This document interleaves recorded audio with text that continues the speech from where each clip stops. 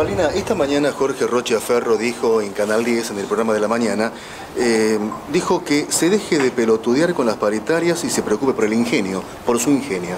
Acá no estamos pelotudeando, creo que es falta de seriedad lo que, lo que él dice, pero bueno, es un hombre que no tiene vergüenza, que si yo tendría que hablar las anormalidades las cosas que hace, creo que el AFI lo tiene que buscar en Siria más o menos. Eh, hace trabajar en negro, ayer hubo un muerto en el Ingenio Aguilares, quemado con jugo, un contratista que estaba totalmente ilegal, como acostumbra hacer trabajar él. Eh, y bueno, esa, es la persona que estuvo hablando en representación de los azucareros. ¿Y por qué no se hacen las denuncias correspondientes, Palena?